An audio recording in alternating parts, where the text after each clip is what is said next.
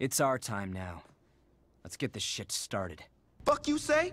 Saints Row 2022 is pretty disappointing.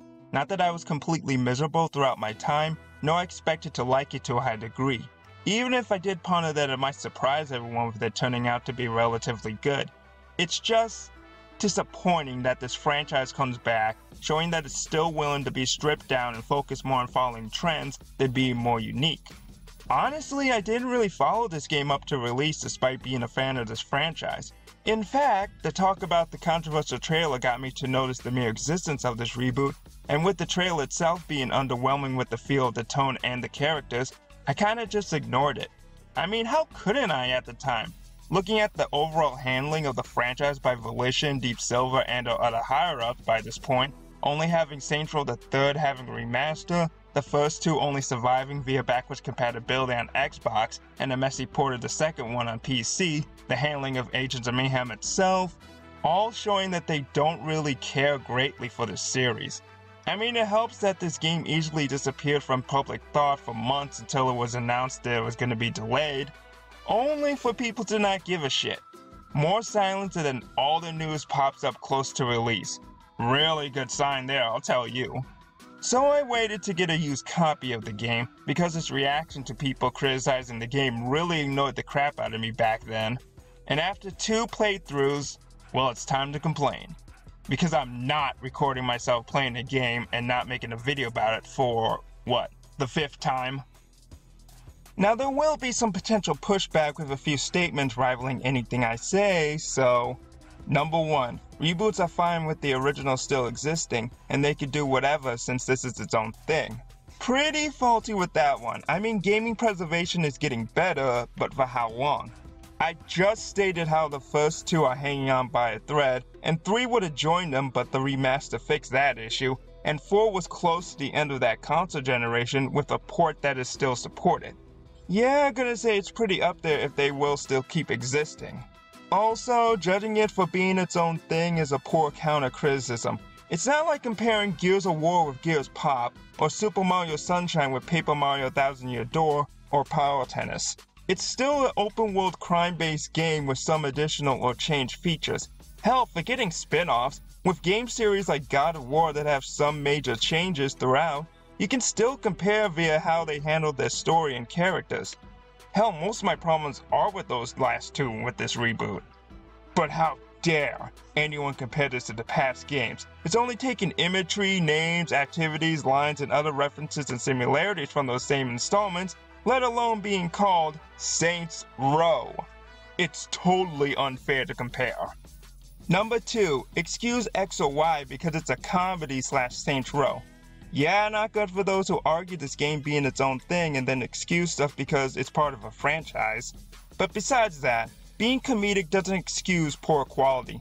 There are plenty of bad comedies out there. Shocker, I know.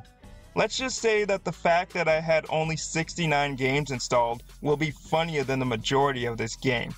Even so, this is barely any more comedic or ridiculous than Saints Row 1 and 2, and definitely not as much as 3, let alone 4. In addition to this, there may be the bias or nostalgia counter criticism. And with that, 1 and 2 may be the best ones, but they still have plenty of problems that I'm willing to point out. And hey, even if there is a hint of bias on my end, at least I'm going for proving why it's better, rather than just dragging down a genre or a franchise as an attempted counter argument to something bad. Number 3, you hate it because it's inclusive now and not misogynistic. Real talk, is having strippers, prostitutes, characters like Shaundi or Tanya being known for sleeping around or showing off cleavage, and freckle bitches really misogynistic?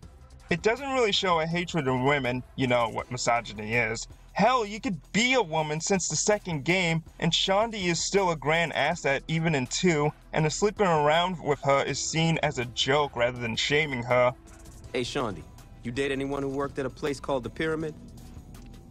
No. For real? At the time. The most memorable thing you ever did was get captured by your smoked out ex.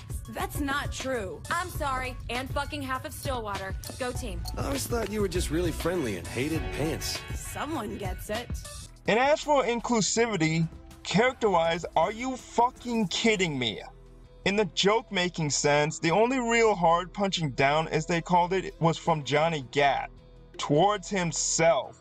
Put these on.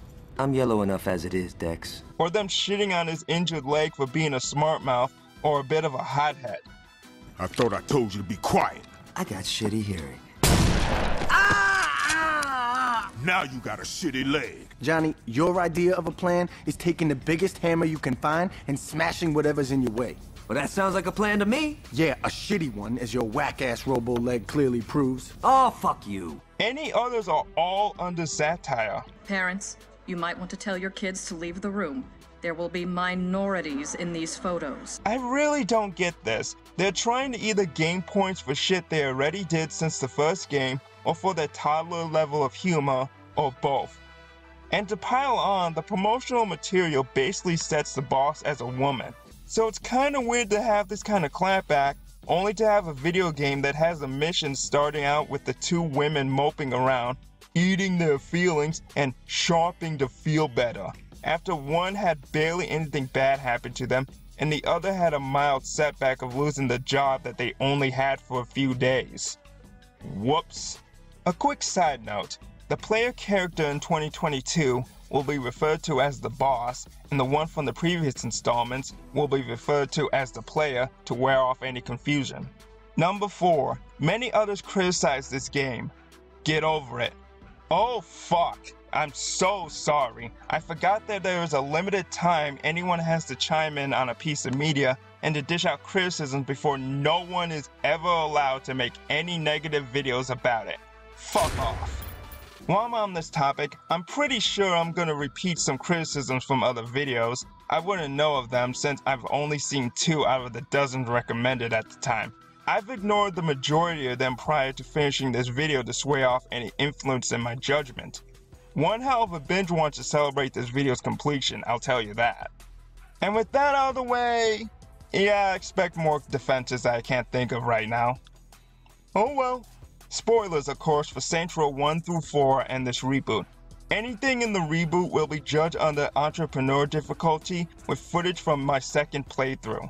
My original playthrough ended the day before the first major set of patches, titled the Bright Future Update, were released, and I started writing prior to the second playthrough. So there will be some amendments. One final topic is that my footage has some drop quality for space, and I doubt that YouTube compression will do me any favors. So I won't say that my video is the best source for a proper visual judge of this game, graphics wise. A lot of blah blah blahing, I know. But all this is to say that I want to be as fair as possible to this game. But with all that said, funny enough, we're starting with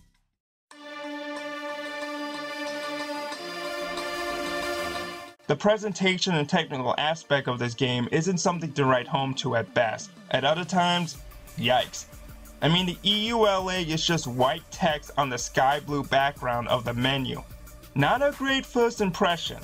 Graphics wise, it's about what you expect from this series, looking about where the last three games left off, even if the remaster of Saints Row III looks better.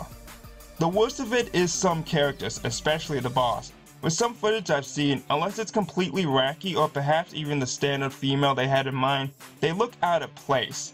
Speaking of, there are some pop-ups at times, especially during the create a boss section looking like they're shifting through all the options when even selecting the same model, but in different clothing. But I'll give the knock towards it being published by Deep Silver, a studio that I've noticed doesn't have a good track record of graphical greatness, among other things. Textures popping in and graphics looking mid is nothing new for Deep Silver games I have experienced. Even bangers like Kingdom Come Deliverance and Chivalry 2 are plagued by these. The only one on the up and up is, again, Saints Row the 3rd Remastered, but that's only because there was a graphical upgrade slapped on top of the original version. But even then, there are issues from other Deep Silver Saints Row games, but a bit worse. The world still feels a bit barren half of the time with less cars and people. This is comparison to Saints Row 2, where you could be screwing around in your crib, only for chaos to break out outside. Random gang fights or crashes, just mayhem and you did nothing to cause it. We try to really give this city the feeling of a city where people are actually doing things outside of you. When night falls, you're going to see more sort of like seedy characters out in the streets, and they're going more crimes are going to happen at night.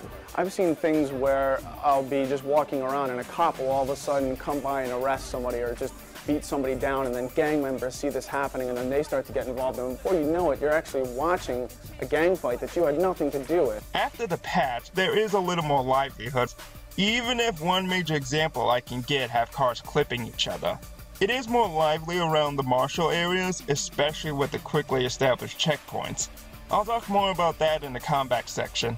The driving is a little funky with physics. You heard it before, a motorcycle can ram a fucking truck, even though after patches, it doesn't cause the truck to fly up. But in both playthroughs, it's more like you could ram into anyone with any car and fuck them over. But you somehow get rammed and then you can get fucked over. Whoever gets rammed is the one getting fucked while the rammer, no matter the car, can go scot-free. Animations are pretty stiff and awkward for the most part. Takedowns are the pinnacle of this, which are at its worst at the final story mission. It's funny how the only takedowns that I've encountered without fucking up are the obvious fake ones for the LARP missions and weapons. See, this character doesn't even do anything after being shot. Oh wait, that's a bug. Yep, going there as well. I haven't gotten anything major outside of dropping through the map, and the only two crashes along with two or three failed startups with my original playthrough. The Bright Future patch really did iron out a lot of bugs, with only a few things like takedowns initiating T-posing or just not happening. Even if my experience wasn't too buggy, the fact that it's far worse for others is fucking nuts. I mean if I really push myself into doing another playthrough, I could have just uninstalled and reinstalled this game with my network connection turned off to get the mess that this game truly is. It really makes me wonder the state of the game before the delay to quote unquote polish the game. That is, if polishing the game wasn't just an excuse and the delay happened as a cause of the backlash from the reveal and the lack of presence soon after, along with the multitudes of competition it would have had, with Elden Ring being top dog. Glad they chose a more dead time in gaming. Oh. The sound is just okay, no real problems there. Some of the voice performances are alright and some can be pretty poor. There isn't really much I can say, it was just mediocre competency. I've heard the radio is pretty crap, but I didn't use it due to the option to block copyrighted music in case of any important dialogue. Also, if you're gonna have the options to cut copyrighted music for streaming, there should be at least some original tracks for cutscenes and the like. I'm just saying that it'll make the ending and the credits less awkward with something playing rather than nothing. That is, if there was supposed to be copyrighted music there. Also, what the hell is up with all the damn Johnny Test whip cracks? Alright, I changed my mind. The sound choices are bad.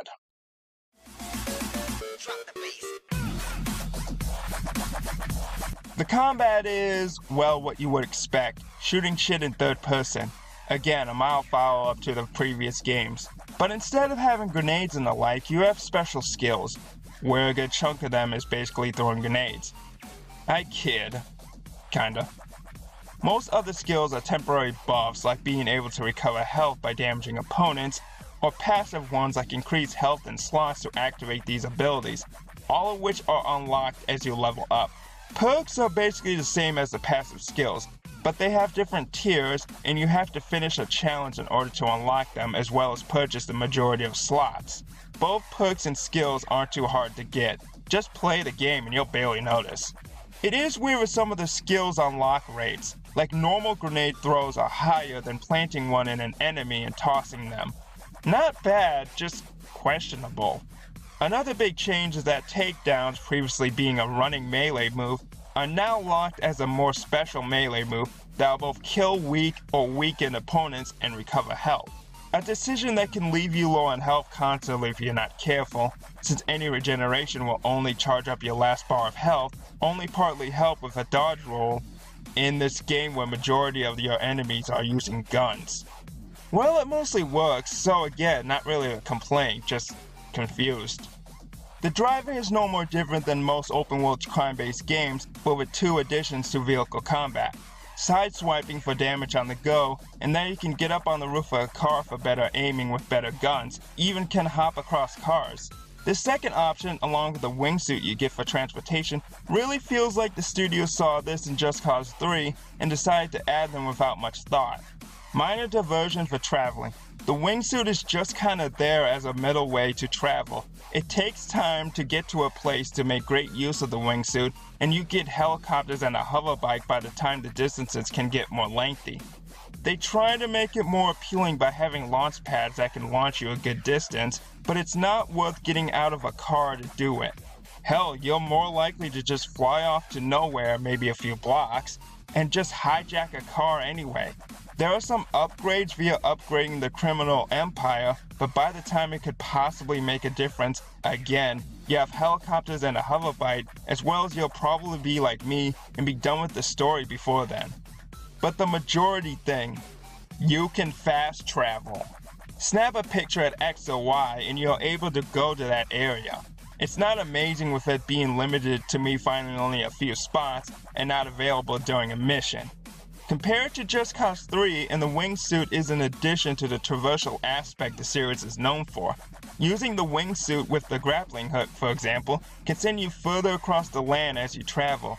Such a big map needs ways to go through it, and the game can set you up for such travel, with or without buildings in sight.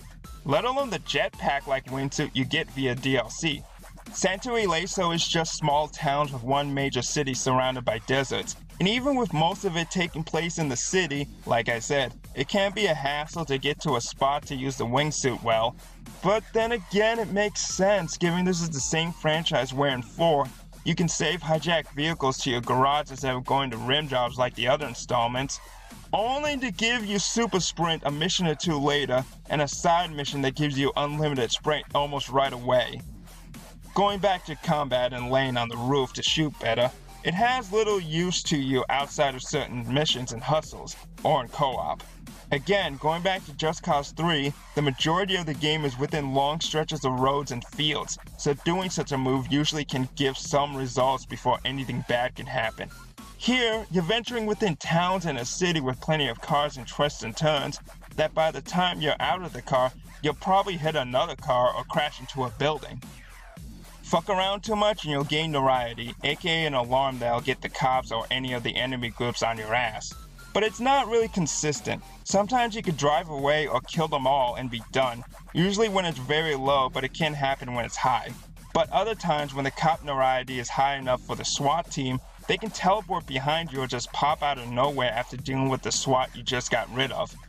And when roaming around the marshal areas when they're looking for you with checkpoints around their area, it can be random if they decide to hunt you down or not. It's like the stag lockdown part in the third, but in that game, you automatically gain level 1 notoriety just for being in said areas. It can be annoying, especially when trying to shop, but it can wear out easily if not disappear once you're out of the lockdown areas without doing anything to provoke police and stag, the shops are pretty plentiful, and it's at the later half of the game so you should have good vehicles, including helicopters at this point, to make it a non-issue. Here, you could walk up to a patrol wandering the streets and they do nothing, but walk away from a small group and suddenly they're on your ass. Drive through a checkpoint and it's up in the air if you get chased. The presentation is there, but the functionality isn't. Speaking of the enemies, the list is the simple gang or martial goons or officers along with quote unquote mini bosses a la the specialties of Saints Row III. It can be up in the air if some goons come out with shields to wither down before taking them out like the rest, along with the occasional waiting and or doing something extra for mini bosses. You can pick up generic ammo, but the only guns you can pick up are one-offs that you can't keep. But then again, the enemies usually carry the same basic pistols and machine guns. You can only buy almost every gun you'll use, but there's little incentive to upgrade them. I've only done one upgrade on most of my main guns, maybe two on two of them in my first run, and I don't recall upgrading any of them in my second, and both experiences basically played out the same. Compared to the third and four, where even grunts can get harder to kill. Funny enough, it's when cars are added to the combat that the amount of damage can vary. Any car you're in can tank so much damage, while any other car can be made out of tissue paper. I haven't even upgraded any of my cars during both playthroughs and, unless in high notoriety, they still can be shot up from one end of town to the next before the damage is at black smoke level. It's not a stretch to say that pretty much every crime sandbox game, let alone the other Saints Row games, have the damage dish out equally. The only times cars were weaker is with missions, usually when you can encounter a shit ton of other gang members. The lower durability is still in effect if you decide to drive one of them. So all of this turns the day-to-day gameplay into a near mindless experience bordering towards near effortless power fantasy. That can describe plenty of games, but when the only true challenge is to give a shit to win, it can say a lot.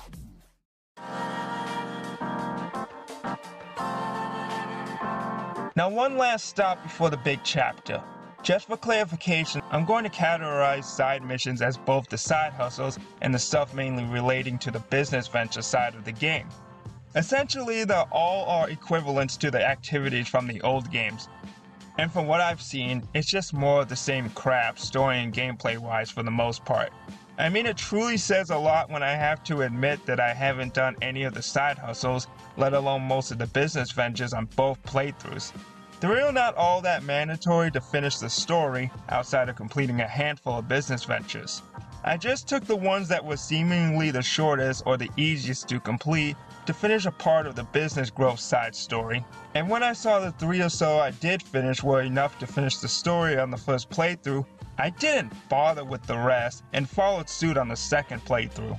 As I stated before, they're basically the same as activities of the past, but the reason to do them are taken from the third and fourth approach to the activities, i.e. to just take over sections of the map and gain money and potential unlocks, i.e. weapons and upgrades.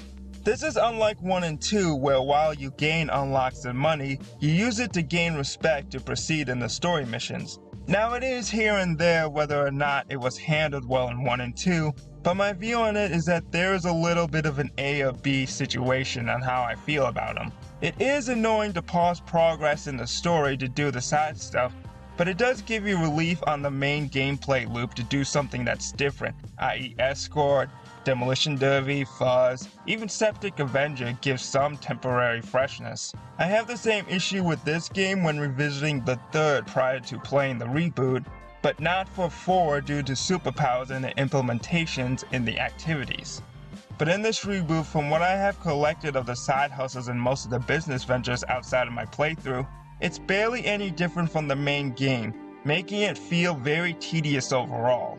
There seem to be more interesting side missions, but you have to go through the dull ones to get there, and is it really worth it? Is it really worth continuing on what feels like a slog of missions just to potentially get to something more enticing and different? Especially when the main game itself can feel like a slog to get through just to finish the main story? Another piece of side content I just didn't bother with was the hit list stuff, unless I so happened to come across them while playing missions. Any bonuses didn't matter to me since I was doing alright with the mediocre slash weakish AI and the few guns I had or bought from Friendly Fire. It's all just to gain money as far as I'm concerned, and I make as much money as I need to just playing the game, so moving on to what you'll use the money on. Shops. Dear lord, the shops are a clusterfuck. I would give it some credit for having different themed shops for what seems like a diverse array of clothing, but it's been done before in this series with fewer shops with more in each of them. Here, almost every shop is unique, but with a low amount of options and only one of them spread across way too thin, making it more of a chore if you want a certain look. Jim Rob is the only shop you have outside of the apartment and the church, so a very limited area to store and customize. I'm really not sure if this was a thing during my first playthrough, but there are more spots for Jim Robs during my second playthrough, seemingly at warehouse looking places, making the context pretty off, but for the case of convenience for the player, I could give it a pass gameplay wise. Speaking of customization, for both the cars and the boss player character is okay.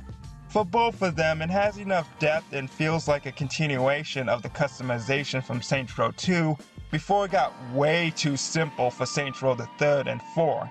I gotta give some props for keeping that up even after all this time. The only thing left are collectibles. Nothing too much, just some items you can take pictures of, find in a dumpster dive, or unlocked after a mission to decorate the church.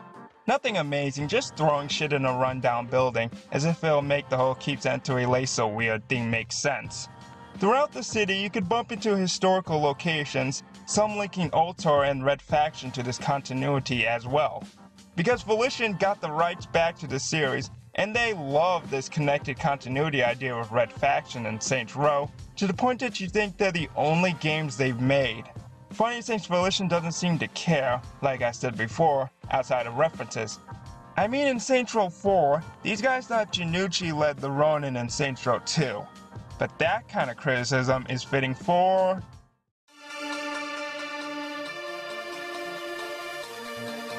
Now I'll be honest, if everything I said previously was all that was up with this game, I wouldn't be making this video. The game is just fine at best so far, something to either just finish up and drop, or just drop during it due to a lack of investment. But it's the story, characters, and overall writing that gets to me about this game. With video games, there are various aims for them story focus, gameplay focus, or somewhere in between. Mini lesson in gaming for clarity. Story focused games are those that are more focused on the writing, i.e., characters and or the plot, and how it's presented. Think of a Plague's Tale or The Last of Us or something even like Phoenix Wright. Gameplay focused games have character focus on a low and the story, if any, is there to justify you going around doing the gameplay loops. Of course, very basic games like Tetris or any other contextless games are thought of, but I'd usually point to something like the Super Mario platform games or early fighting games like the original Mortal Kombat and Tekken games. More recent entries in fighting games, as story modes become more of a norm to do, led them towards the varying middle ground between story and gameplay. Or games like Devil May Cry, 3 and 5 in particular, have a good focus on gameplay, but they don't slouch on their stories or characters. The Saints Row franchise, like many similar games, are a mixture of story and gameplay with various results. For me, 1 and 2 did well with story and characters with gameplay doing alright, the third is about average on both, and 4 showing better strides with its gameplay than its story.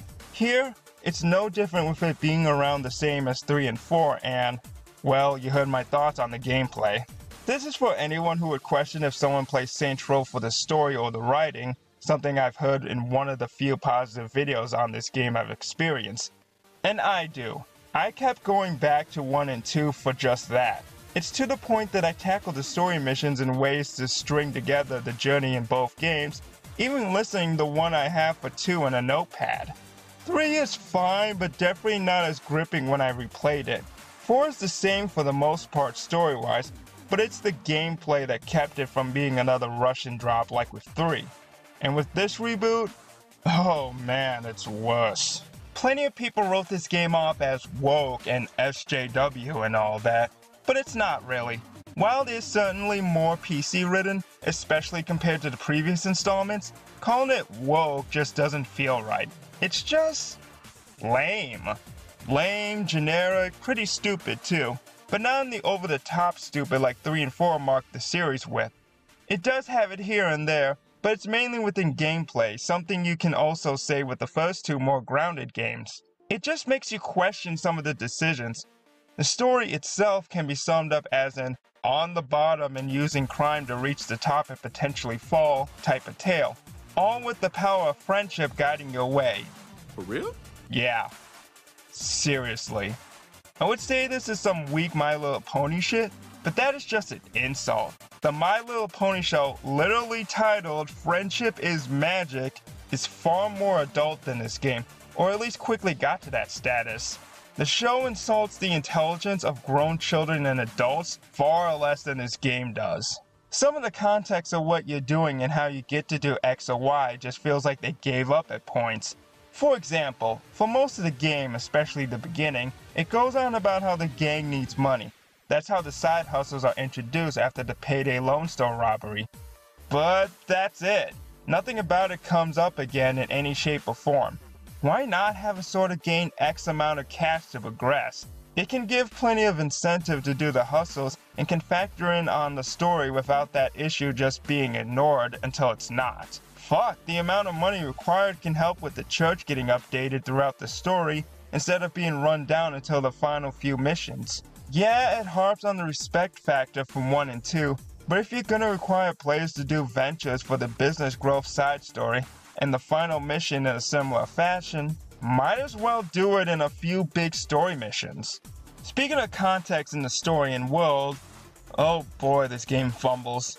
Even with no real reason to do them outside of gameplay and earning money, I could say the side hustles are fine since they started in the beginning where you're at your lowest cash wise. But business ventures? Why am I doing them? The boss isn't like the player where they specifically said, Don't take it the wrong way, Pierce. I'm just used to dealing with shit myself. The boss is clearly fine with letting the crew do things. Our crew does all the work and we sit back and collect money. Who trained the crew? We did. And who has the crew's back if they screw up? We do. Exactly. We earned the right to sit back and collect money. They even show some annoyance when having to do some of the activities, like picking up the radioactive waste trucks or having to keep being called up for the cleanup crew. And with fucking brain dead reasoning to do some of them like produces fake records and documents based on real world data. It should be good enough to fool the fraud detection algorithms. That sounds really complicated. How about I just throw myself in front of cars and trucks, and the harder they hit me, the more money we get? You gotta start questioning why outside of gameplay. Same goes with collectibles. Rummaging dumpsters makes sense and taking pictures of stuff is fine for fast travel, but taking pictures of something and it's suddenly in your possession to decorate the church? Really? Oh, when you're pointing out the bullshit of it doesn't excuse it. Or how about randomly collecting piles of drugs and money just sitting around, scattered across the map? You might argue this is pure nitpicking, but even the small things can show a people putting effort and thought into the product. Why are you doing the activities previously?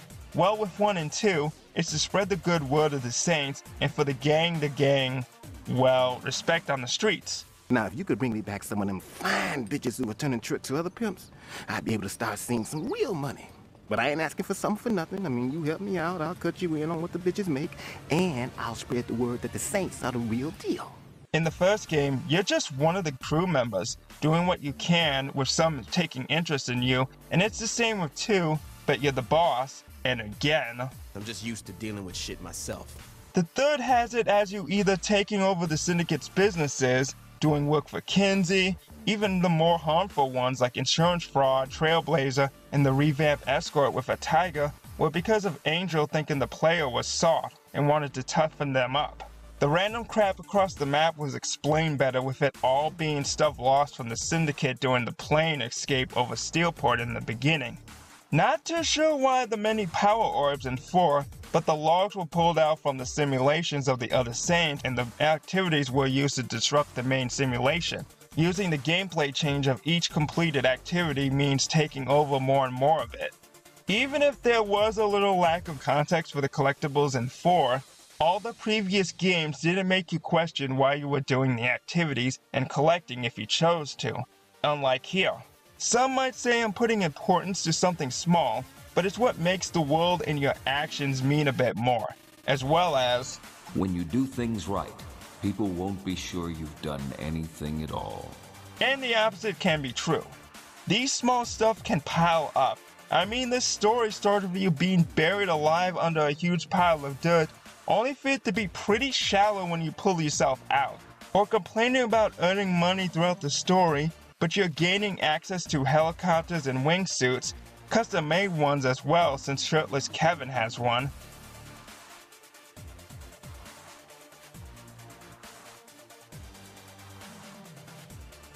The wingsuits are similar to the parachutes popping up in the third, pure gameplay bullshit. But the difference is that they acknowledge the wingsuits in story. Okay, I'm pretty sure you guys get the whole world building lack of context. It's just another sign of low effort for this game, and the first for the writing. Shame that most of the effort was placed in the focus of toning down jokes and quote, making sure everyone is in on the joke, unquote.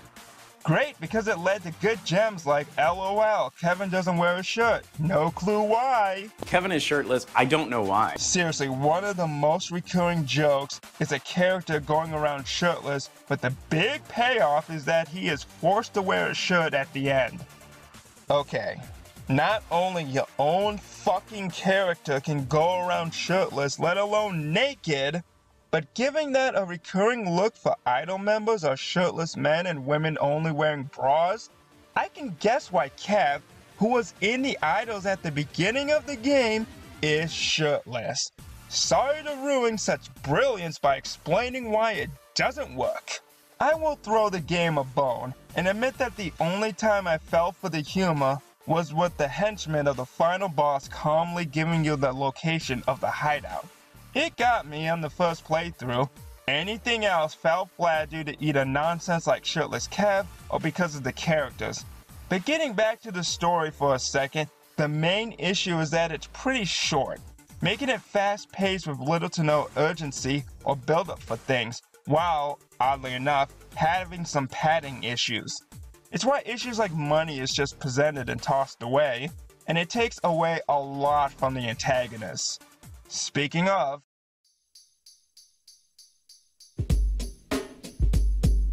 The usual antagonists of a Saints Row game are the other gangs and factions outside of the gang culture, usually of a militaristic nature. You take out these opposing forces to take control of the city, or take over an alien empire with four.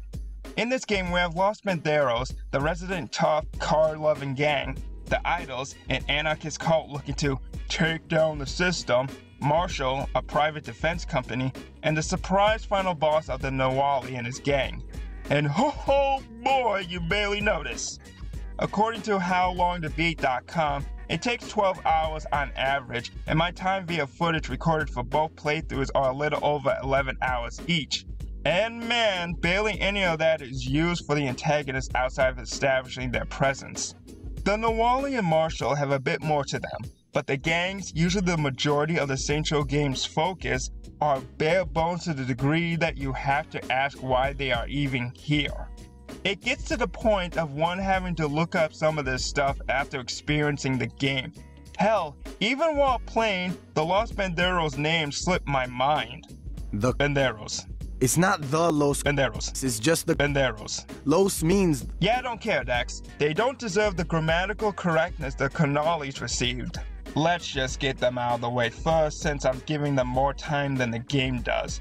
The Los Panteros game is just a typical muscle gang. Love of cars, steal things on their convoys, and have a massive factory called the Forge. They are the basic gang, and that's it.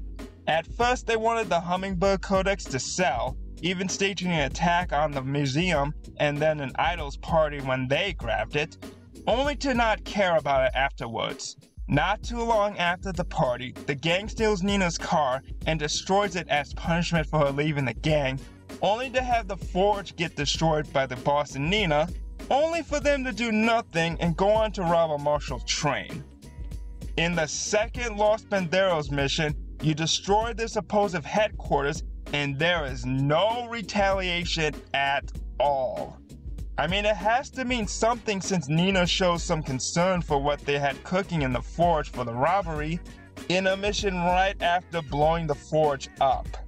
I'll state about their story progression when getting to the idols next. But continuing, you reach the train robbery and near the end, Sergio, the leader, gets killed by the Nahualli. And the Los Panteros gang is done with story-wise.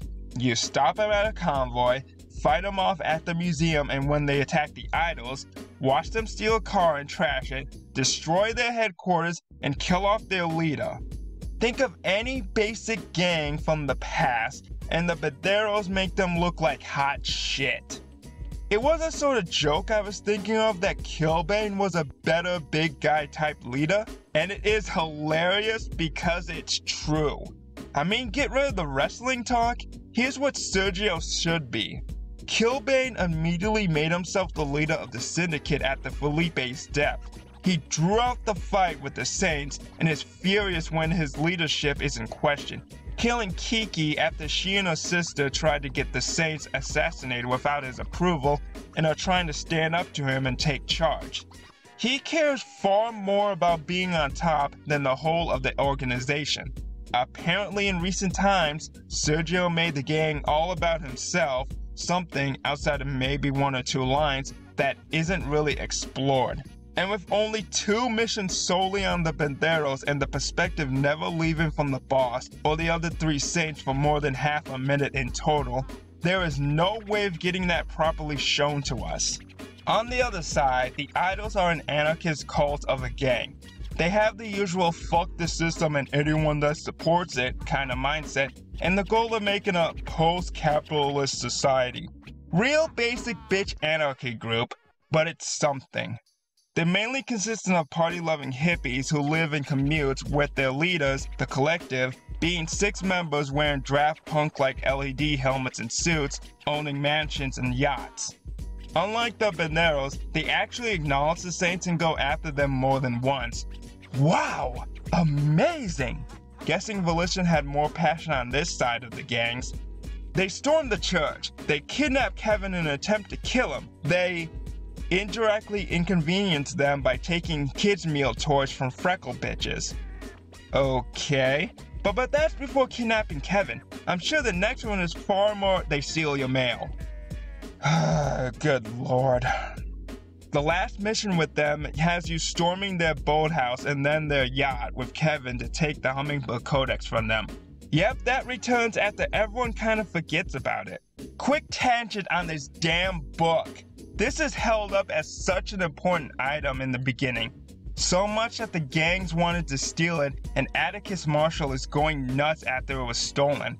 But no news about them trying to get it back, and it seems like the Lost Panteros, aka Sergio, cares to attack the idols not to gain it, but caused by a bruised ego. The Saints only go for it to quote unquote look legit and that they're here to stay, because the Marshall train robbery wasn't enough. I mean, they say that people claim that the robbery was a one man job with the Nahualli, but it's really taking the book that better?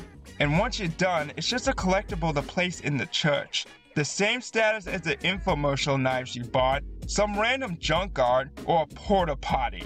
A pure, useless MacGuffin. It being a MacGuffin is fine, but it's annoying how obvious it is by the time you grab it and it's just tossed aside as nothing, even when Marshall is on your ass at this point. But with that tension done and you gaining the codex while killing more of the collective, it's time to The word on the street is the idols are in total disarray now that we've blown up their yacht. Looks like they've mostly gone to ground. For now, anyway. Might be a good time to move in on their turf. Oh. The idols are done story wise. You storm them with the attempt to grab a book, and you end up crippling them heavily to the point of scrambling with one or two leaders left. I really don't know if this is better or worse than the Los Panteros. With both of them, you respond to their deeds, whether messing with JR, kidnapping, or theft. You do like one thing during at least one of these missions that lead to harming the gangs, but it's more of a while I'm here kind of mentality rather than it being the goal. And then, poof, their last missions have you storming their HQ and practically ending them right then and there. The only reason the Forge isn't the ending of the Panteros is so that the Nahualli can kill Sergio instead of you, bringing in some questionable drama for the boss in their head for not being the one to end Sergio. More on that later. The biggest reason for these issues with the gangs are that they're trying to have both a linear story similar to 3 and 4, but with you tackling the gangs separately a la 1 and 2 and having all of these enemies for the Saints to fight with them trying to establish themselves as an operation at the same time. The combination of how the stories were played out previously doesn't work as you can see. After the prologue of each gang where they establish the Saints, you can tackle the gangs in any order you want. Each gang story is self contained with no worry about overlap with the certain bookmarks being the prologue and epilogue. You can go one gang at a time or mix and match in any order you choose. With 3 and 4, you are fighting one main entity throughout the story, and even with the separate faction of Stag and 3, the Syndicate story has you tackle each gang that makes up the organization as a maze of focus one after the other. The Syndicate is the main antagonist throughout the story, so there is plenty of build up towards each would be end, with the possible exception of Phillipe. And with Stag, they are brought in during the second act, where you're already knee deep in the Syndicate and their takedowns don't overlap until the end.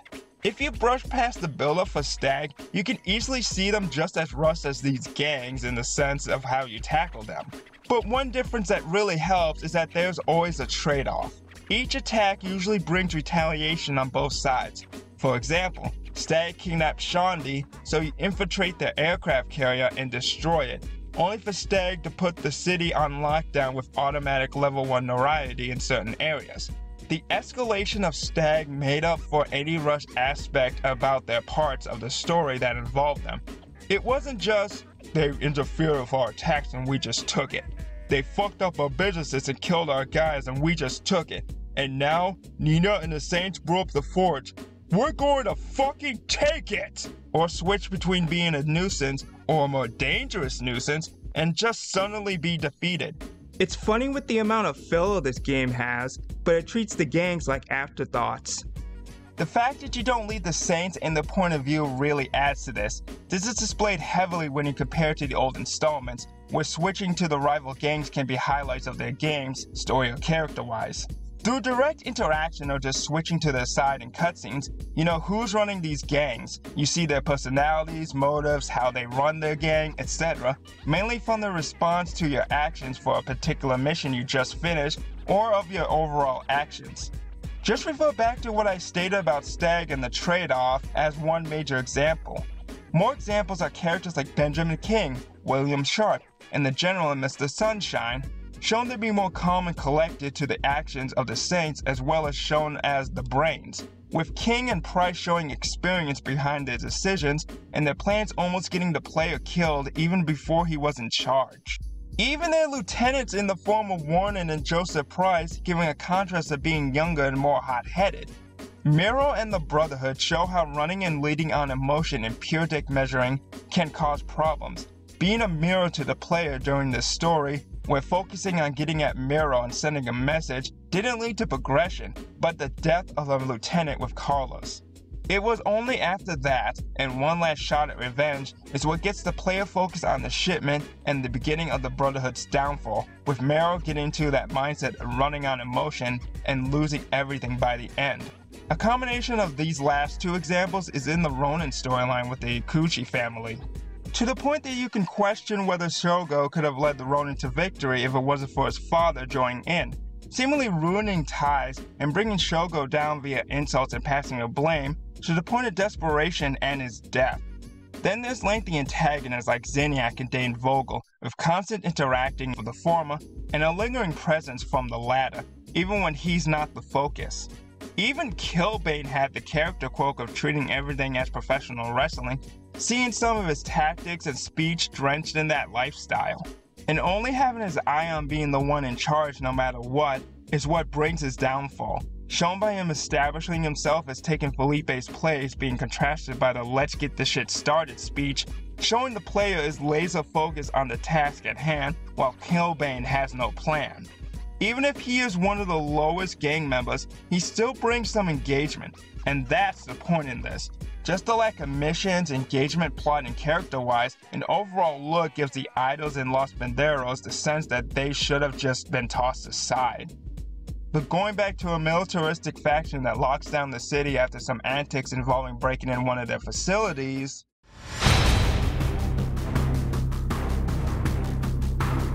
Marshall, I'll admit, isn't as bad as the gangs. Prior to the prison break, any running with the Saints is purely business, and there's no personal grudge on their end. The boss was hired there, promoted, then fired in a short amount of time.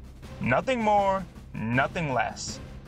Even the whole the boss gives them the slip thing is fine for me. They make checkpoints to find the boss and then the Nahualli, following with the Saints hijacking hoverbikes for the train heist during a failed search. The heist happens, and then Marshall claims the Saints due to a non-compete agreement. A failed storm of the Marshall building has the boss and Maya, one of the board members, hatch a plan to usurp Atticus Marshall to gain the Saints back. Nothing majorly wrong with them, but there are some cracks. The checkpoints are appropriate, but again, the gameplay aspect fails to give it any impact. Even when you do get notoriety around the area, it at least should be harder to escape and or clear it in addition, there was no attempt to storm the Saints. The boss broke in and freed their high-profile prisoner, and they took it. Again, they took it when they hijacked their property and robbed a train. Admittedly, them going at it via the law makes sense, even if I doubt non compete agreements work like that.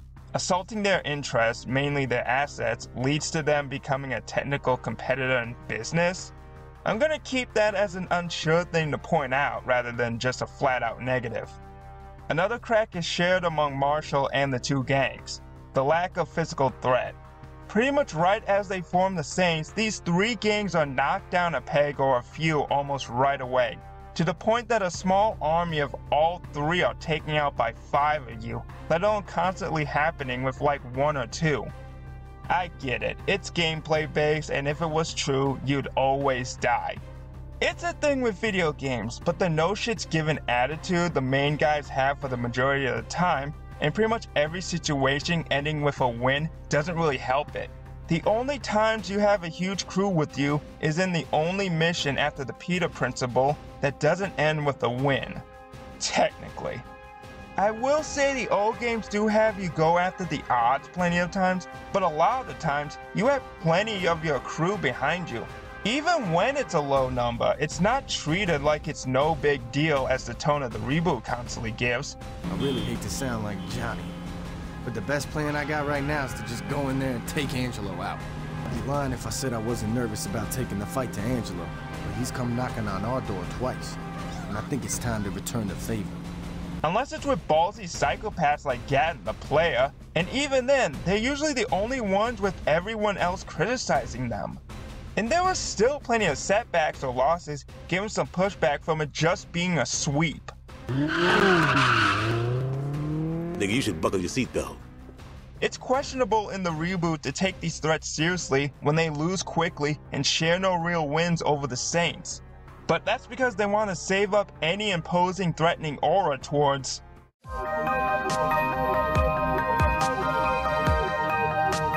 the Nahualli, like Marshall, there isn't a lot wrong with them. In fact, it feels like he was one of the better focused aspects of the game and the story. He is presented as this cold-blooded killer, hard to take down with Marshall having trouble. Although I will say the rushed nature of him being friends with the game is an issue. Not helping with the mission playing off as one of those cartoon or sitcom episodes about planning the perfect day, the plans are ruined, and as the protagonist tries to apologize, it turns out it was wonderful. Lame. But I'd say what ruins him is near the end. He betrays the boss to take over their lives and to steal their friends from them, to keep them safe. What the fuck? Doing all this to take over the Saints and their empire, I get. Even leaving the friends alive, I get. But there is nothing that I can think of to having them play pretend to feed whatever happiness he gains from this. He's a killer, not crazy. There's a difference. Wanting the boss gone due to some still lingering resentment from being incarcerated by the antics would make sense if that wasn't dropped in favor of the idea of the boss apparently being a bad friend and weak. It just feels like they only did this turn to have a final boss, which isn't bad in of itself.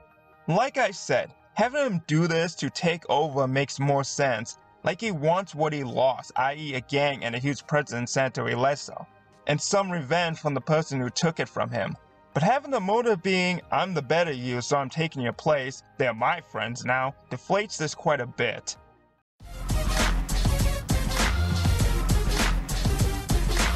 Finally, we get to the Saints themselves, the main four characters, and they are, bring, and or represent the worst aspects of this game. These characters are pretty cliche to the point that the most positive section of the game for me, the LARPing side story, you can just swap out these characters with any other nerd and their non-nerdy friends. Eh, makes sense, have a cliche generic story and fill it with cliche generic characters. Funny enough, as I stated before, the problems of the writing is shown through the characters, mainly the saints themselves. When it's not all cliche writing, it's a hint of some questionable decisions or hypocritical views without a sense of self awareness or satire. Or have some shots at specific political topics that people help link this game into being woke, like wanting to take a certain car to improve one's carbon footprint. But how they treat it is to just bring it up and say it rather than to make a point about it. Shredded Nerd made a video about this type of writing, along with some issues about how they write characters like these saints, i.e., model them off the well off, inner city young adults from places like California. I say go check that video out. Going back to the topic of them being cliche and generic, it's not bad on its own, but what you do with it that counts. I'd say writing characters like this can help when you have it serve in a more gameplay focused experience or when you're doing something different with it story wise. I'm pretty sure there are plenty of people who judge Kratos in the Norse era God of War games as a generic older man learning to open up or be more humane through a young child. But it stands out more from similar stories like The Last of Us or The Road due to this following after the Greek era of God of War having all of that as essentially the backstory of this new era brings more to what many people said back in the day as painting The Last of Us with some God of War. Or with stories like The Last of Us or just playing comedic games, just make sure the execution sticks to landing. And with this game being comedic, well, I'm pretty sure you could guess the execution.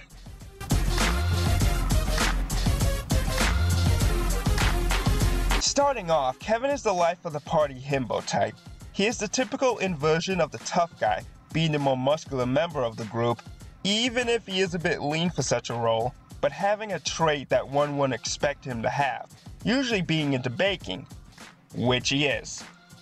He, along with the boss, best contribute the not giving a crap attitude of the game when it comes to the antagonist and the laid back nature since most of his solo missions are the ones that help give the whole pointless vibe throughout the game. Even moments meant to be taken seriously with the threat of death. Oh no, we're dealing with the Nahualli! Let's take this time to have a big payoff to the shirtless running gag. He wears a shirt, and then, first thing out of his mouth while fighting, is him saying that he can't wait to get rid of this shirt. He's like that comic relief character that's just there for jokes, to the point that you don't even believe any form of seriousness they could bring. It's kind of hard to explain, but it, along with a lot of the comedy, is in that same sort of tone of when a character says something normal or is serious about, to us, a ridiculous situation, or, usually to set up a joke, when they say something obviously stupid, but they believe it as fact. The most serious he ever got was when he was told to shoot his roommates for the idols, a choice you don't believe he would have made. Kevin, along with Neenah, really don't give a fuck about the Ayers or the Panteros, respectively, even in the beginning. One would question how these two would end up being roommates in the first place, but it doesn't matter given that them being part of the two gangs are a non-factor, outside of who is following you during missions that regard those gangs individually. In Kevin's case, he describes them as family and wants the boss to go easy on them, but he just brushes off the boss killing any of them right away. There's a fucking roommate code about this, and doing anything to disrupt the gangs is met with folding laundry or some other chores. As if the boss ate either one's leftovers or deleted one of their shows off the DVR.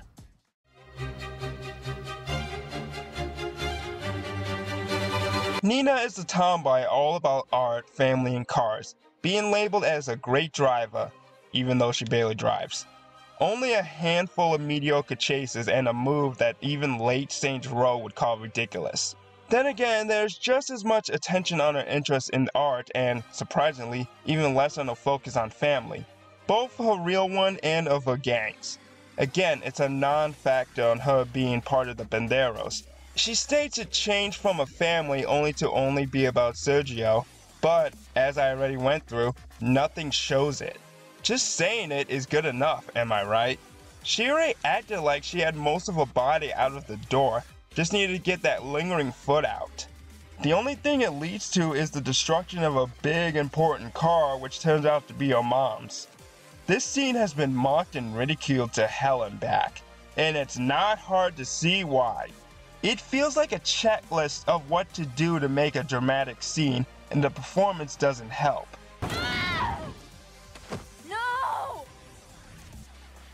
She never let anyone else drive that car. Who? My mom. Ah, fuck. Forgetting that, it's over a car you only see once and Neenah used once in the beginning. She said she won't use it for the payday loan robbery, but then uses it to get the boss away from police custody with that dumb trick I talked about earlier.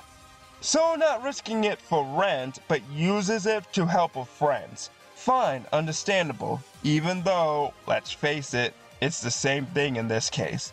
Anyway, hey wait a minute, she says she's using it to save her friends, but she only does it for the boss from jail. Shit, she doesn't bust it out when Eli and Kevin could have been killed in a shootout with idols in Los Panteros, which almost happens when Eli gets shot during it. Makes you think, huh?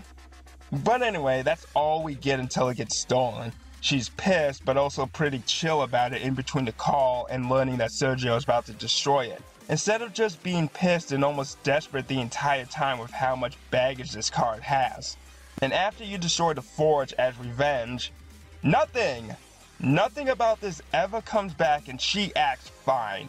Revenge good, I guess. So even then, you don't look back at this and care, even when it pops up in the boss's head in After Party.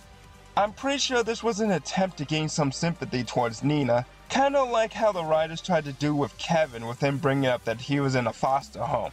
The difference between the two is that while both of them come and go, the latter feels more natural for the situation, and the former has this huge spotlight on it, which making it come and go feels worse. She doesn't develop in any way after this. She gets mad, and then it's back to business as usual. Like a Phil episode, you can ignore it and it doesn't change a thing. The issue of her that connects back to the general writing is the messed up morals. Weird to say about an open world crime game, complaining about the morals of our protagonists.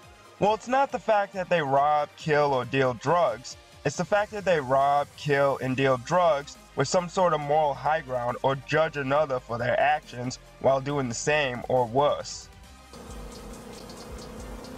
This was never fucking yours. This was never fucking yours. This was never fucking yours. This was never fucking yours. This was never fucking yours. This was never fucking yours. This was never fucking yours. They call Marshall morally bankrupt, but there's no scene showing that.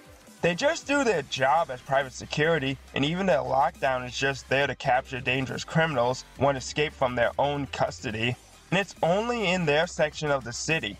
Atticus Marshall stating that lives were meaningless in exchange for the Codex, or when the Saints stormed the building, can be harsh, but tell me, what does a lack of caring of human life matter in a world where the hired killer business is pretty public with the Wanted app?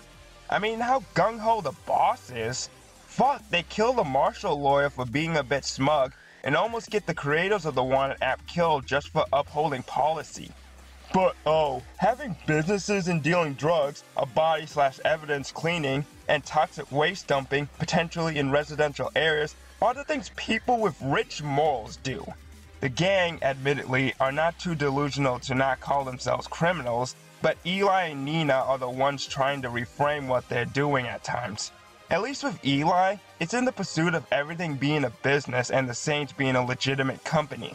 Neenah, being an art lover, changes any illegal thing they do considering art into something else. Throughout art appreciation, she wants to join the art life legitimately. Each failed attempt to buy art leads to them stealing it. At first it's fine, she was breaking down and then admitted to just stealing them, but then she flipped back when being called art thieves. What really annoys me is the fact that they want to draw a line at what level of criminals that they consider themselves to be especially with the justifications they want to make. It's fine to rob the payday loan place because the owner is a dick. The art owners don't appreciate the statues, so just take them and call yourselves art liberators. Commenting on robbing an armed truck being a victimless crime or it's insured money. I just have a feeling with all of this, they want the Saints to appear more naturally good and likable. It just doesn't work to downplay crimes or have them say stuff like donate the stolen fast food toys to orphans when I know it's all bull to make these characters seem like not bad people who rob and kill whoever with the same it's a fun time attitude you see in quirky psychos or even the odd similar treatment for operators for games like Call of Duty as of late. let alone the fact that this kind of stuff gets dropped or slapped on like a sticky note. Fucking idols. They really are a bunch of thugs. Taking joy from children. Fuck children. Took joy from you. Buckle up. Nobody liked Johnny Gat because he was the kind of guy that paused a shootout to pull some stray pups away from the action. They liked him because he was a fun character with plenty of good interactions. There isn't a redeeming aspect to Dane Vogel, but again, great character that people like. For fuck's sake, the best version of the player for people is from Saints Row 2, where he is the most psychotic and brutal. What's this? Do me a favor. When you check the trunk, just remember you should have offered me something better than 20%. These and other characters are popular because they're good characters one can latch onto with what they bring. No one likes to be lied to is what it comes down to it, and no one likes hypocrites. Ones that state the saints are for the people, but only terrorize them. Fuck children. Ones that have to make sure the payday loan place is run by a dick to rob it, only to steal some cars to do said robbery.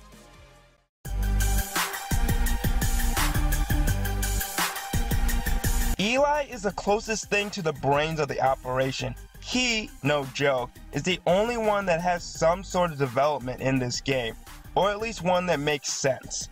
He starts off as one that acts so above having a 9 to 5, trying to make it as an investor.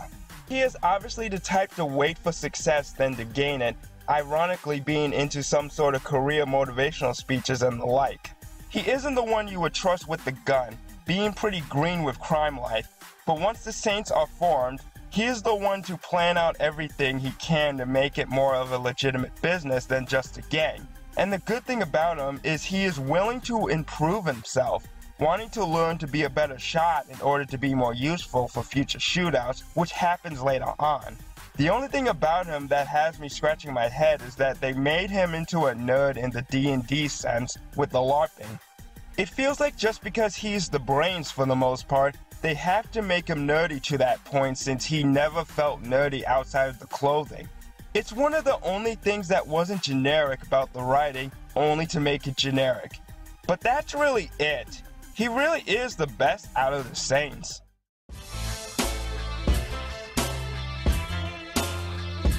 Last but maybe not least, we have the boss.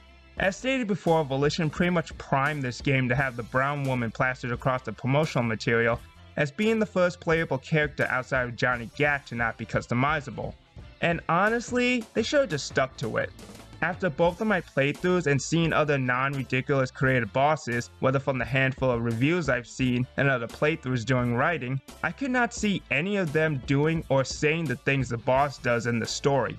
People made established characters like Tony Montana and the Joker in Saints Row 2, and they fit far more in that urban gang setting than any Joe Schmo playing the boss in this game.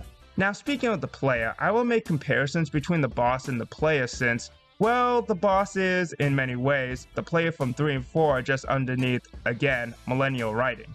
The player in 3 and 4 turned more towards an action movie hero type, having some badass stunts and some gags and gaffs. The boss is trying to be like that, but leans in towards the psychotic nature the writers back then wanted to push the player away from. I should have realized a prison of peace would never hold a sociopath like yourself. I'm more of a puckish rogue. Rose by any other name. But still doing normal stuff like karaoke and binge watching TV shows, as if making the criminal aspect more quirky. That, with the writers trying to make the boss into a badass, just doesn't make them as endearing as the player especially when they have a few spots of the boss whining and the start of an entire mission being them wallowing in their own self-pity, or the storming of Marshall feels like, as Atticus states in that very mission, a temper tantrum. Loser! You're a loser! Are you feeling sorry for yourself? Well, you should be, because you are dirt! You make me sick, you big baby! Baby want a bottle? A big dirt bottle?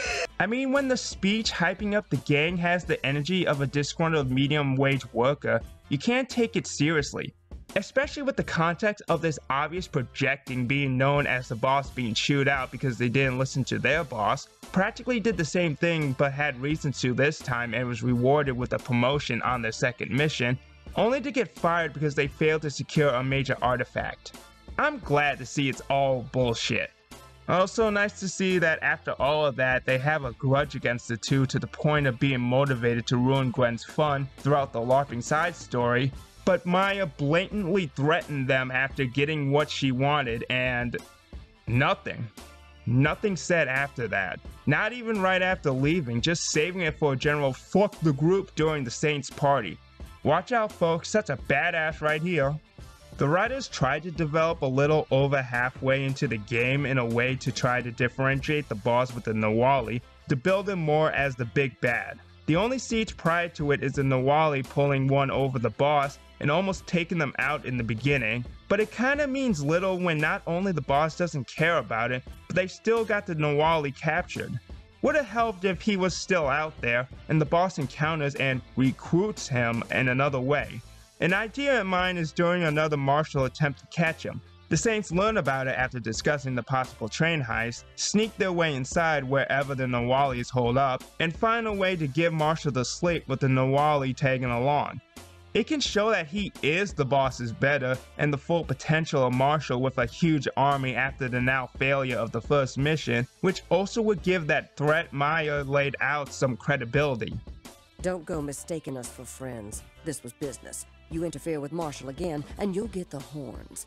Oh, oh, scary! Oh, oh, oh, oh, oh, shiver my timbers! Shut up, man! Moving on in the timeline is the Perfect Day episode mission, with the gang having a fun time with the Nahualli to build a bond. Here, they try to show off one of the difference between the two with their view on what they do with the boss saying, Hey, I murder with gusto. I, I just... Don't you ever want a day off? A killcation? No. Oh, The Nahualli rejects this as if stating that he is a full-blown killing machine at the snap of the finger. But funny thing about that is... I'm a walking murder party. Y'all had me at Murder Circus. You You are aware that didn't solve the issue, right? Yeah, but he was being a dick. Back to murder. Murder can't solve everything. You shut your mouth. No actual killing of players. Fine. Fine? Yes, deal, okay? For a game, you're really taking the fun out of it. If I have to say more about this, well, you probably need more help than these two psychos. So they grow a little closer during it and the heist, only for the Nahualli to stab the boss, laying out his motivations and this leads towards the real attempt of development of the boss, being to replace the boss in their friend group due to not being able to protect them and the boss being a poor friend. The thing is, they're not, in any way. The game is so focused on having them seen as the best of friends that there isn't any real friction or poor interactions. They barely even snipe at each other for fun. The issues that bring such doubts are pretty shoulder shrugging. In fact, there is no real reason why Kevin would think of the boss as a bad friend. The thought of Neenah having that feeling over the boss not being the one to kill Sergio. What?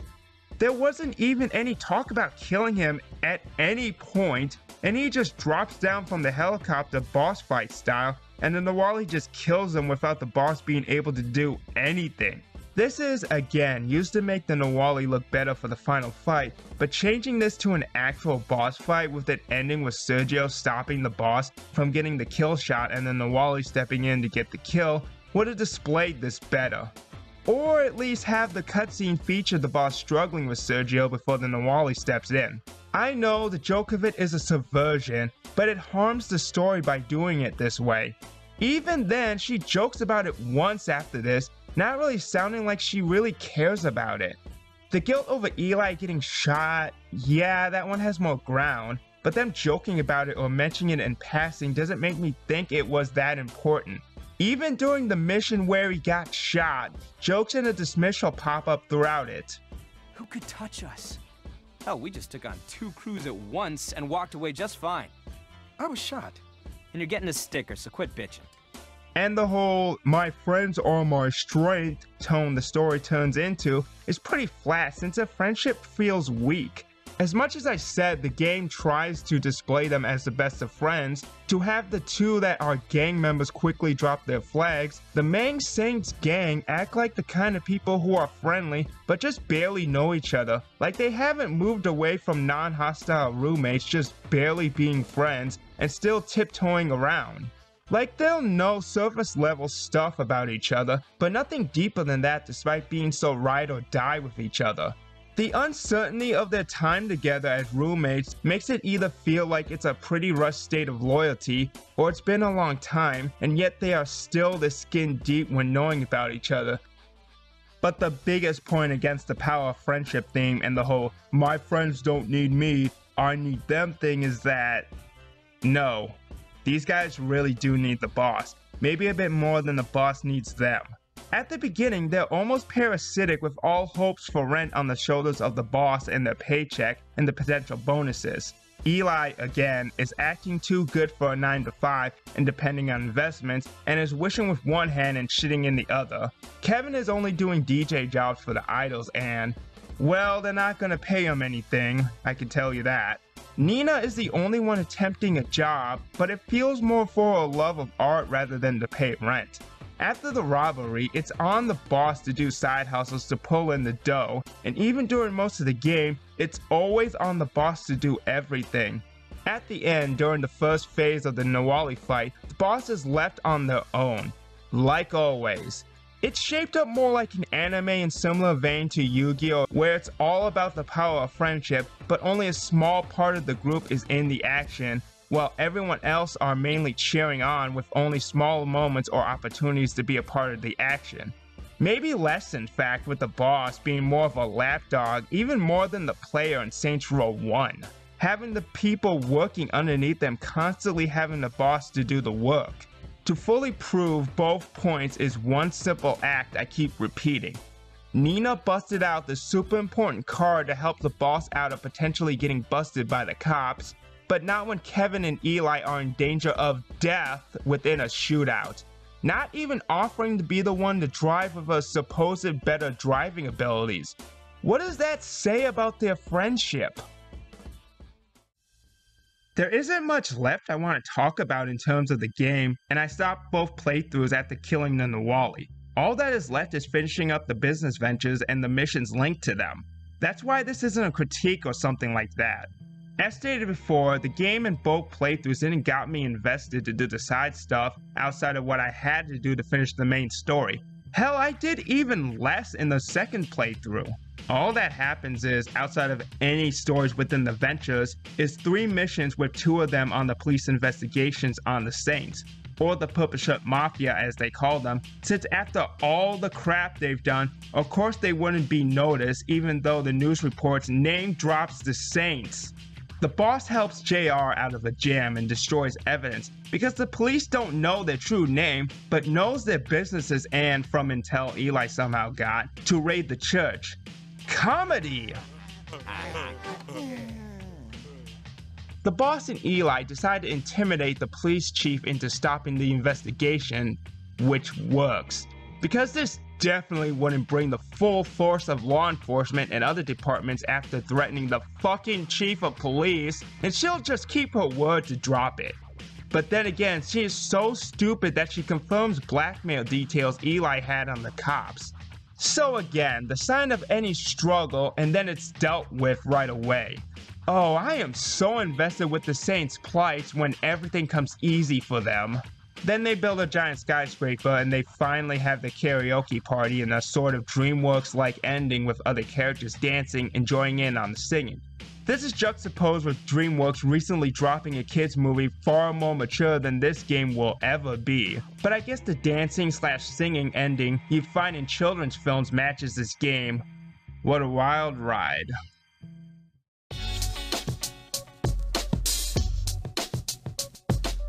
So the big question after all of this is, well, what now? What does the future hold and how screwed is this franchise? Well, at launch, it topped the charts in the UK for physical copies. Also, another chart topping with all of those asterisks, but adding for the PlayStation 5 version as well. But the next week passed and sales dropped by 80% in the UK. Pretty silent everywhere else. It was reported that this game cost $100 million and supposedly it flopped. Hard to get a clear answer on that. And within a few months after release, Volition was transferred to work underneath Gearbox. Embracer Group does state that they're happy with the financial results but are saddened by its critical reception. Yeah, not buying it. There is no way a major company like this is that caring for critical reception to this point publicly. And I'm proven right after learning that later on, they admitted that the game had a lower return on investment and it underperformed when the, at the time, recent financial reports were out. But I will say, they're not like an Activision or Ubisoft in the sense that they're obviously in it for the money regardless of quality, and they are not one of those companies that have a bad reputation or poor press across the internet. I mean, no one was really thinking the worst when they purchased Crystal Dynamics and Eidos Montreal from Square Enix. Everyone seems generally okay with Embracer, so some benefit of the doubt will be given. Then, at the end of March and the beginning of April, a roadmap was released displaying some minor details about the DLC for this game, showing story and regional expansions. As of recording this voiceover, the Heist and the Hazardous DLC has been released. And no, I'm not gonna do them. I have so much disinterest in wrapping up the business ventures and that little side story of upgrading the criminal empire. Why would I want to do more in a game so lacking in the base game? I know there are plenty of DLC expansions that are amazing, but they are still within a game that have a solid base. It doesn't matter how good the furniture is if the house looks like shit and isn't built on a solid foundation. I'll probably talk about it writing wise if it does something like bring in old characters to this continuity, like Kinzie, Pierce, Ben King, or Johnny Gat, which I'm pretty sure they'll do. They'll somehow bring in stuff that was from the previous games into here in one shape or the other. I mean, in the Nahualli already feels like a different shade of the player and or Johnny Gat, so why not bring in the original? Whether they do that or not, I'm sure it'll just be more of the same of the base game. Maybe bring back old activities or create brand new ones. Nothing spectacular or groundbreaking. As for any future titles, it's hard seeing a sequel for this game being made after such a reception. Referring to what was said about the financial report, they are knuckling down on which projects will be greenlit, and no way they would want to go back to this, at least when it comes to new installments. But if they do make a new installment, given that Volition is now under Gearbox, I don't think much will change, especially in the writing given some of Gearbox's recent titles. I feel the same if they plan on truly going back to the well and remaking the first game. The only possible thing to do that I see as positive is to remaster the first two games and maybe four in the same style of the third game. But since they skipped 1 and 2 in the first place, they may not do it. Hell, they practically said they weren't gonna do it. Although, desperate times. I mean, they can't do the same thing Capcom did with Devil May Cry and do a sequel to the original games, since this is technically an in-continuity reboot due to the events of Gat Out of Hell. Same way Agents of Mayhem is technically an in-continuity reboot. Maybe they'll bite another bullet and do something like Row Online in the style of GTA Online with activities and self-contained and or continuous story missions a la the heist in GTA Online. Why not? GTA Online has, in a way, became more like the later Saints Row games with how ridiculous it got throughout the years. Going back to countering the backlash, the few positive videos I've encountered, like most media with such a negative reaction, you get the it's not that bad or it's fun as if that in of itself is a counter to any negatives. Sure, you could have fun despite the bad, but that's it. Anything bad doesn't stop being bad just because of any potential fun one could have. Yeah, sure, the characters are crap, the humor is horrible, the map sucks, and the gameplay is below average, but I had fun, so... Yeah, that doesn't sound foolish. But one of the comments I hear is to combat the bad humor and the writing, saying that Saints Row was always like this.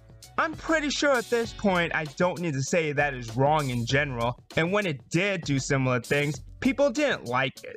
The best example is Phillipe. Like some of the villains here, he barely got any screen time before his sudden death. You can say it was a sort of joke that this big bad leader was killed quickly, perhaps seen as a subversion given it takes a while in the previous games. But it was still a letdown, especially with someone like Killbane being his replacement as the big bad.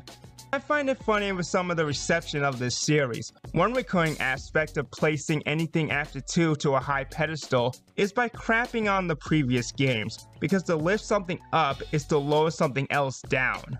Another is that this series, when it was seen as a GTA clone, still has the most originality, not being plastered with pop culture or taking ideas from other pieces of media, whether gameplay, setting, or story-wise. But all that wasn't a true knock on people who like these installments, let alone this reboot, and me being a massive dick about it.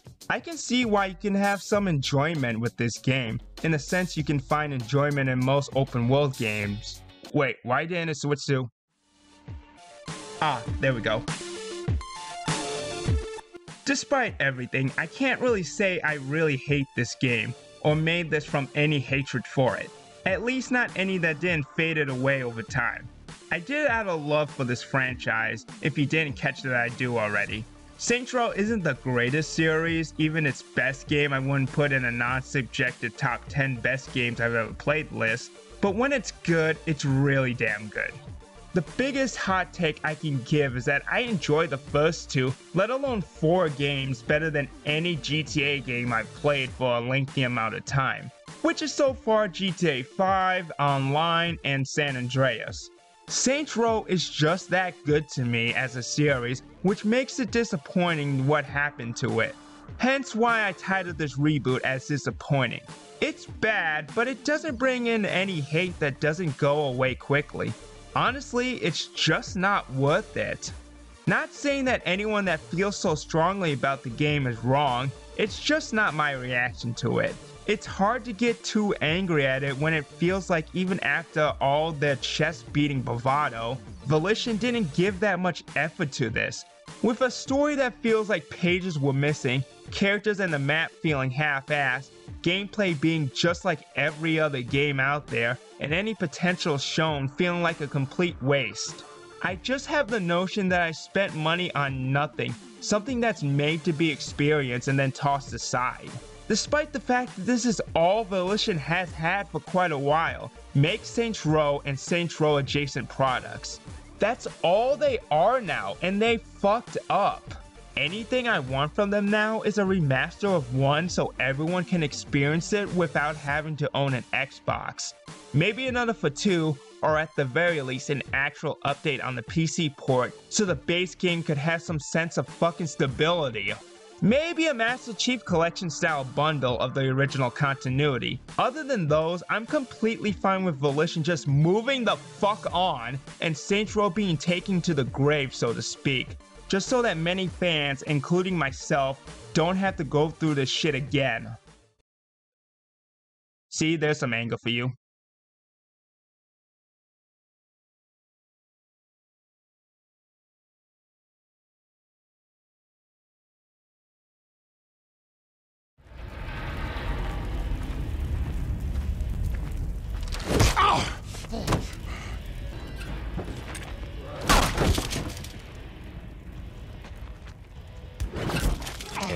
Words? Shit. Goddamn fucking shit. Goddamn fucking shitballs on a stick with a side order of mother loving shit smothered piss covered ass!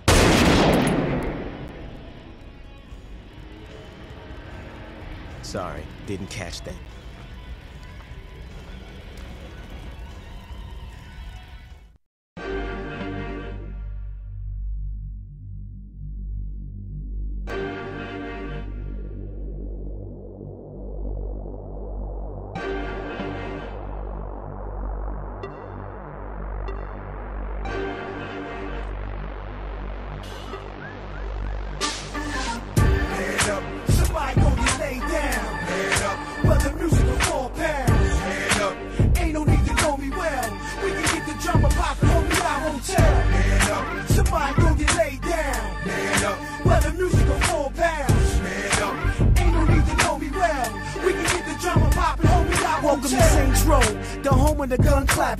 Time criminals, sneak thievers, and carjackers. Where the streets fight back, the shootouts are bound to happen. Ain't nobody scrapping all of these killers. It's taking action, gang wars, yeah, we bang to the death. Gaining respect in the intelligent city. Think smart and wear your vest. Watch your right just as well as your left.